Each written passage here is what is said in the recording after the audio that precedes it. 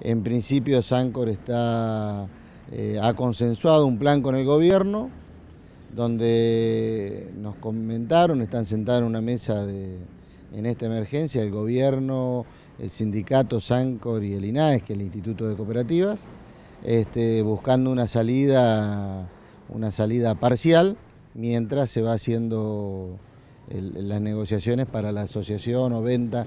Venta no, porque las cooperativas no se venden, pero sí una asociación eh, que es lo que están buscando.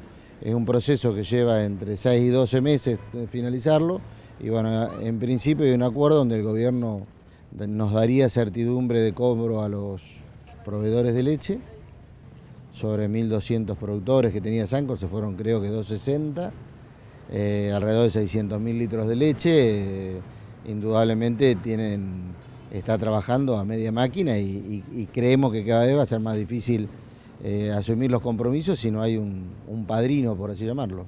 Nos dijeron que entre esta semana y la que viene, antes del 31 de marzo, podría estar este, eh, garantizado de esta manera. Hoy por hoy no lo tenemos. Y respecto al plan de reconversión, ¿qué incluye? El plan de reconversión que presentaron, indudablemente, es un plan de emergencia. Incluye eh, trabajar en un nivel de 2 millones de litros de leche de acá en febrero del año que viene.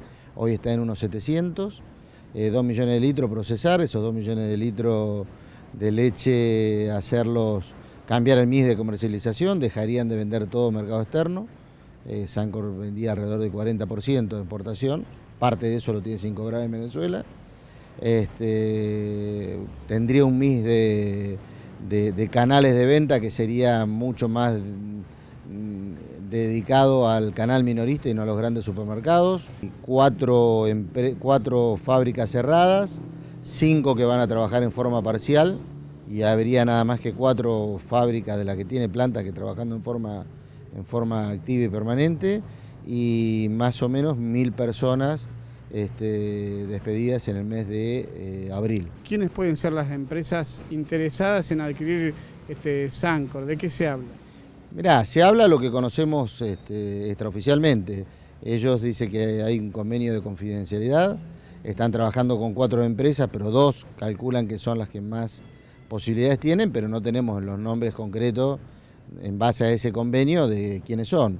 Se habla de una empresa francesa que es la, más grande eh, en lácteos en el mundo, que se llama Lactal, y se habla de una empresa de, muy grande de México. ¿Siguen vendiéndole a Sancor o ya están pensando en irse a otros mercados? No, no, pensar, eh, imagínate que todo el mundo está pensando y hemos hablado con todas las empresas. La cooperativa de 30 de agosto tomó una decisión un poco más rápida que nosotros. Nosotros en la gran mayoría seguimos entregando, eh, pero en una espera constante de tener confirmación de, seguridad en los cobros. Caso contrario, nos ponemos en riesgo nuestras propias pequeñas empresas. Por otro lado, este, los que llevamos mucho tiempo en Sancor, creemos que como cooperativa nos ha servido mucho. Nosotros tenemos una cooperativa que también nos sirve a los productores y la queremos defender, por eso queremos comercializar la leche en conjunto. Este, y creemos que, que Sancor sigue existiendo, nos hace bien a los productores lecheros.